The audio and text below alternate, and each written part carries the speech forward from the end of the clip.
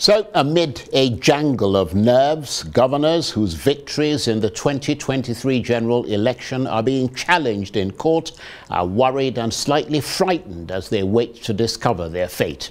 That's because the governorship tribunals are likely to deliver their judgments between now and the end of this month. Obviously, no one's quite sure how the tribunals might rule and whether elections will be annulled or upheld. So, despite appearing to be calm, the parties and their candidates are an absolute jangle of jitters and nerves. But it's not just at the governorship level. Tribunals hearing petitions on the National Assembly elections have also been issuing their rulings. Recently, we saw the sacking of the PDP's Ikenga Ugochinyere as a lawmaker in the House of Representatives.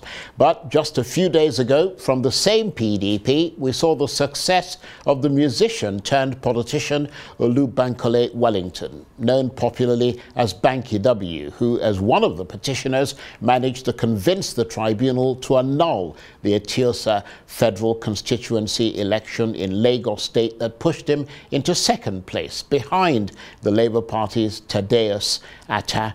So, for Banky W, a chance once again for a triumphant march towards victory. But can he make it happen?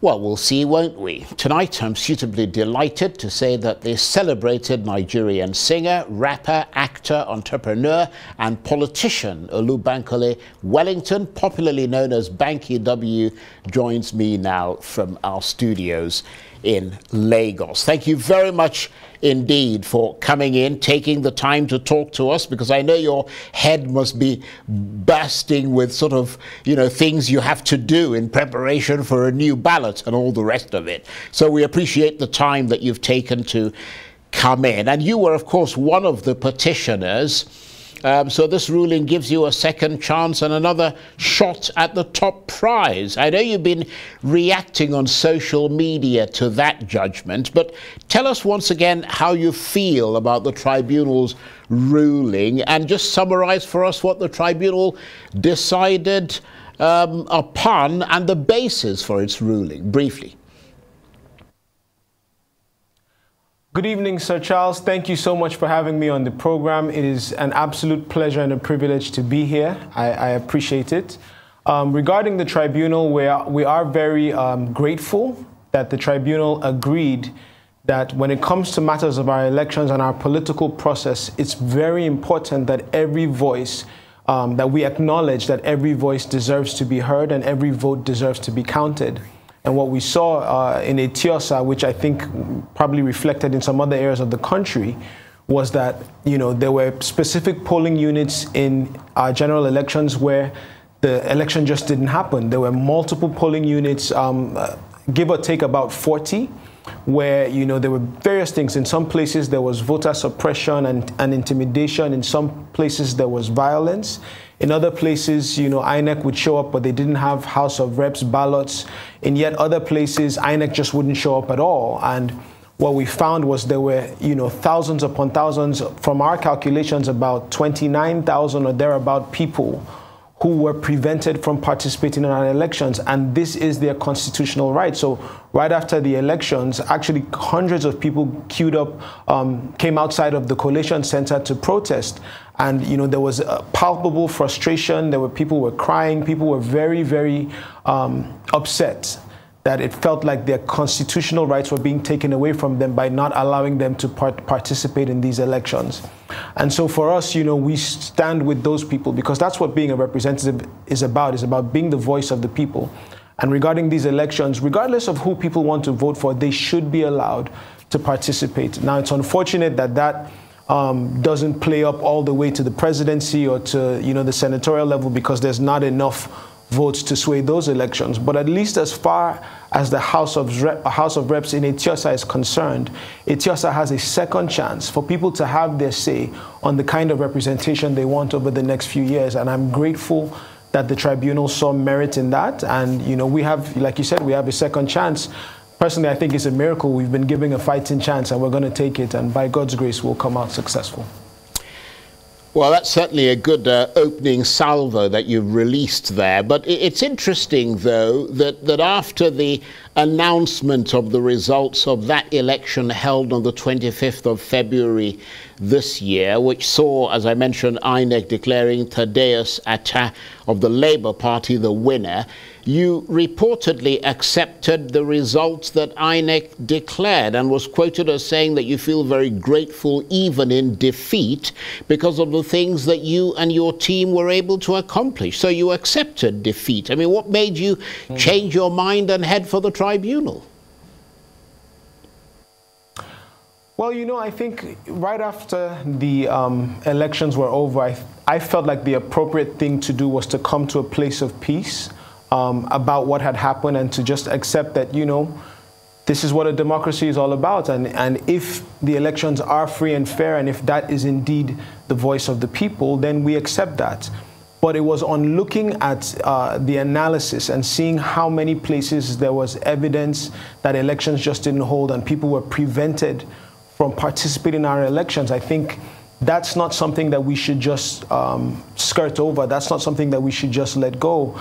And also because there were thousands upon thousands of people that truly believed in the values and the vision that we have for representation in Eti-Osa and people who gave us their support, people who gave us their time, people who volunteered and donated and really, you know, kind of carried our vision with us and stood with us. And for those people, it felt like it wasn't right to just you know turn our backs on the process and and and let it go because leadership one thing that I've learned is that leadership requires resilience and it requires the courage to stand up for what you believe is right, even if you have to stand alone. And thankfully, we weren't standing alone. There are thousands and thousands of people in Eti-Osa who felt like they stood with us, and we should see this thing to its, its complete conclusion. And at that point, we can make adjustments, you know, as need be. But it was the right thing to say. Listen, if we say we're coming in because we want to reform leadership and we want to do gov governance differently and we want things to be done the right way, then this is part of that process. It's part of the process to say, were these elections conducted properly? And if they were not, then are there any things that we can do to ensure that that is the case going forward? And I think this is part of that. So, so that's what we're doing. Well, that's certainly fair enough. Um, so, what will your rhythm be this time? What are you going to campaign on? And, and will it be different or similar to the last time? Well, you know, I, technically campaign uh, season hasn't started yet, so I, am not here to campaign. But I think for me, it's very clear um, who I am not and who I am.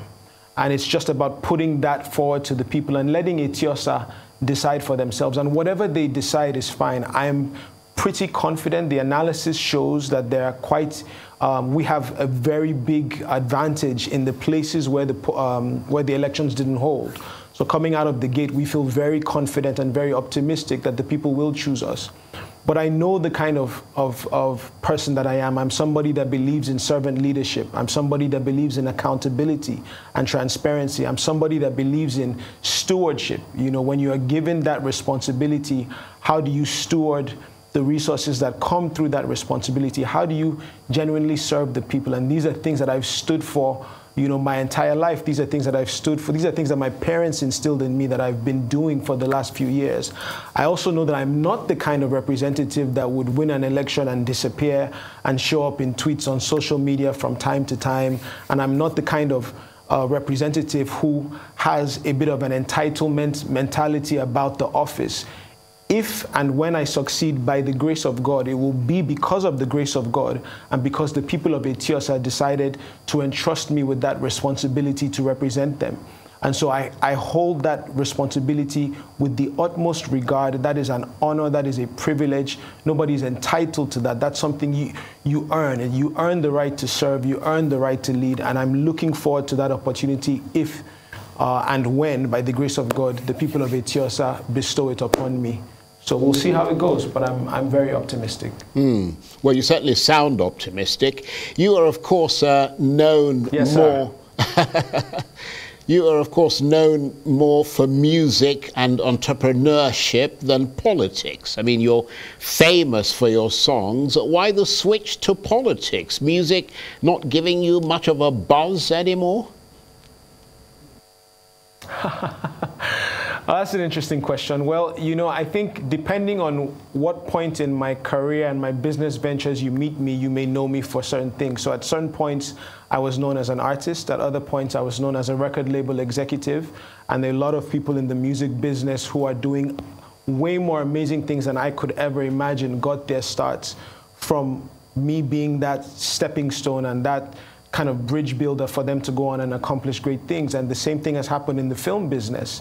Um, quite a few of the most successful films in Nollywood history, um, I've been a part of the group that put them together. I've been a co-executive producer on multiple successful film and TV projects, the most recent being Gangs of Lagos, that my wife co-stars in, by the way. Shout out to Adesua Etomi Wellington.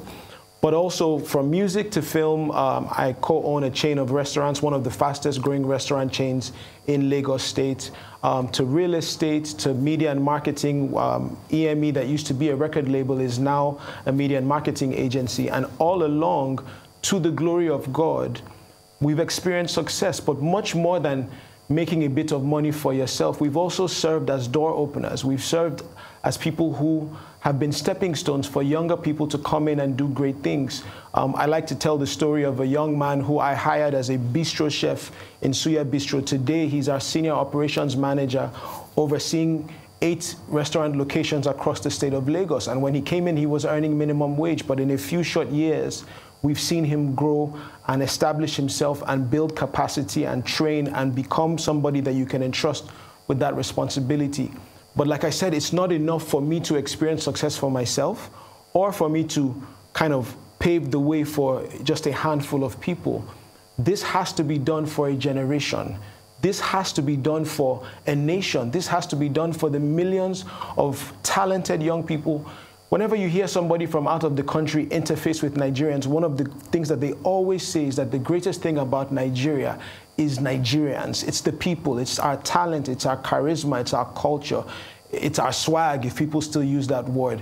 We come with so much capacity and competence and character. The problem is that we are not creating opportunities for our young people to go out there and make something of themselves. Young people don't want to live off of handouts. Young people want a chance to fend for themselves and to build a future for themselves.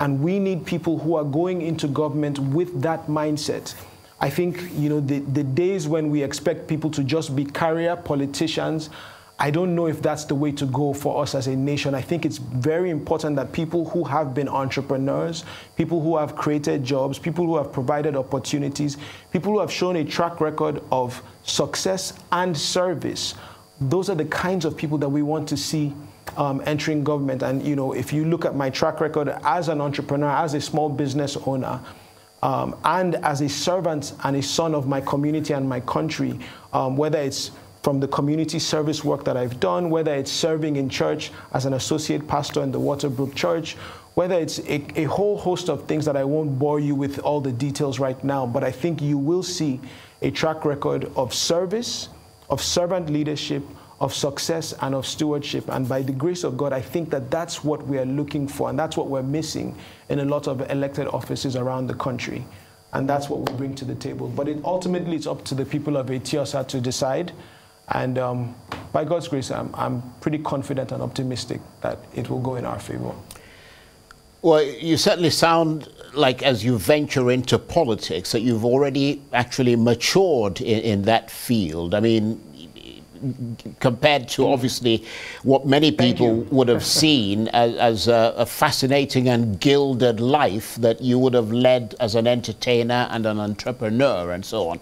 But now that we've got you on air, Banky W, I mean, I wonder if we might get your insight into the darker aspects of Nigeria's music industry and specifically the recent death of the rapper mm. and singer Mohbad um, under controversial circumstances. I mean, he was signed to the label of the rapper Naira mm. Marley, but when he decided to leave mm. the label, reports suggest he was continuously assaulted physically and violently, and many believe he was killed. I mean, what do you think of that? And how, how can artists leave their labels without these kinds of issues? I mean, his death has become a hot topic on social media and across Nigeria and, and the world, really. Yeah. Um, I think, uh, first of all, I have to say that it is a really tragic story, and as we see more and more of the, the um, behind the scenes unfolding, it's really heartbreaking what has happened to that young man. Um, I didn't know him personally, uh, but I just, I kind of got more familiar in the last week or so when all the news was coming out. And it, it really is a tragic, um, heartbreaking story what has happened to him. And so, obviously, to his um, uh, family and his friends and his associates, you know, our thoughts and prayers go out to them. I think, you know, I think we, we're at an interesting time in the entertainment business because the eyes of the world are clearly on our music and our film and, you know, just even other things like our fashion and our food. And I think for young people, that's a fantastic thing. But at the same time, I think we need to put measures in place to ensure that there's a level of protection that young, talented people can expect from their country and from their nation when they are facing difficult situations. Where do they go? Who do they turn to? So I think there's, you know, I, I know that uh, uh, uh, an in-depth police investigation has been ordered. And so I'm waiting to see what the results of that investigation are, and then we will know what the next steps to take are. But it truly, truly is a heartbreaking incident, one that we hope will never repeat itself um, again. And you know, we'll be doing whatever we can to hold the police accountable to the results of that investigation. So you know, we'll see. Well, I mean, beyond obviously this specific instance, I mean, you're someone who has been in the music industry. I mean, you've talked about running a record label, yeah. being a producer, all the rest of it. So you must know what a lot of us don't yeah. know. I mean, you don't really need a police investigation to tell you that based on your experience. I mean, what does this tell us about the state of the music industry in this country? Because some have suggested that it's been taken over by criminals and cultists. Well, I understand that in the, in the middle of a very um, difficult moment with a case that deserves every amount of attention that we can give it and all the due diligence in the world, I think there will be a tendency to try and cast aspersions on the entire business as a whole. But with all due respect, I think that that might be a mistake because I think, you know, in the same vein as yes, there, there is a lot of darkness that we need to shine the light on and, and make improvements on. The, the entertainment industry, the music field, the, the movie field has done wonders for the image of Nigeria. It has done wonders for the ego and the self esteem of our young people. It has done wonders to create opportunities for young people. Nollywood, aside from, I think, the federal government and now possibly agriculture, Nollywood is the highest employer of labor in the country. So I, I don't think that taking this position that the entire entertainment business is dark, is dirty, it's filled with criminals, you know, it's corrupt now. I think that that's it's kind of a rash, um, extreme stance to take. I think in the same vein, yes, yes, we look at what needs to be fixed and we make improvements there, but I think we have a lot to celebrate. Our artists are being nominated for Grammys. I really strongly believe that an Oscar is on the way. Hopefully it'll be Gangs of Lagos next year, but I think with the Jade Osiberus and Kemi Adetibas and all the amazing and Mo Abudu, all the amazing uh, filmmakers and musicians that we have and what they've done for Nigeria around the world, I think it would be a mistake to assume that the, entire, the entire entertainment industry should be thrown into the gutter. I think, yes, there needs to be a lot that has to be fixed, and there needs to be a lot of support, and there needs to be a lot of digging into the issues that exist. But I, I don't think that we should throw the baby out with the bathwater. I think there's a lot to be celebrated even now in the midst of such darkness.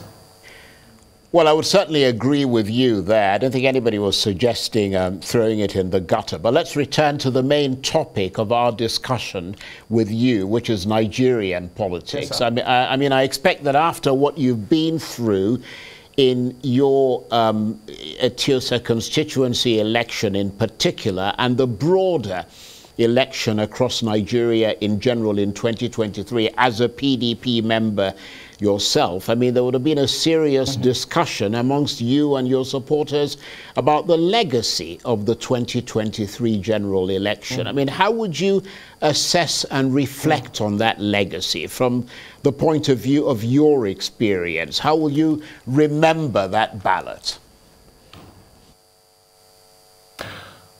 Well, you know, I think the legacy of the uh, 2023 elections leaves a lot to be desired, to be honest. I think um, these elections um, kind of left a sour taste in the mouths of millions of Nigerians in terms of just the, the, um, the incidents of violence that occurred, the, um, the way that INEC kind of came up short of the standards that they had promised that we should hold them accountable to.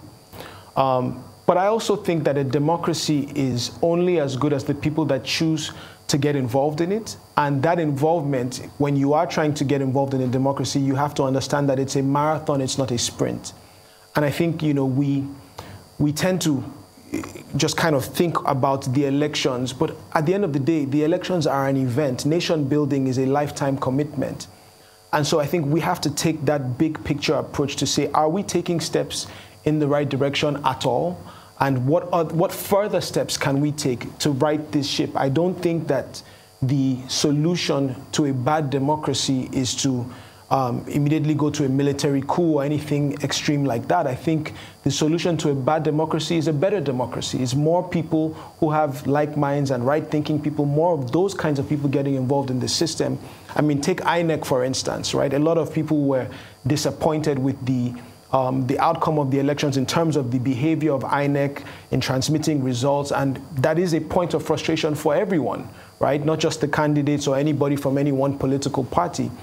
But with that being said, you know, what can we do about that? Until we have a system that is willing to police itself, then the office of the citizen has to police the system. So we have to show up at every polling unit in every ward around the country. We talk about INEC being an independent organization. I'll give you a perfect example. In Eti-Osa, the INEC office is inside the local government area office. The LGA premises is what holds the INEC office. And the LGA is staffed by essentially members of the ruling party. So how independent do we expect INEC to be when even if somebody genuinely has the right frame of mind, but you put them, you know, day in, day out, year after year in the middle of members of one party and you expect that we expect that maybe they will not feel any kind of pressure and influence, I don't think it's right.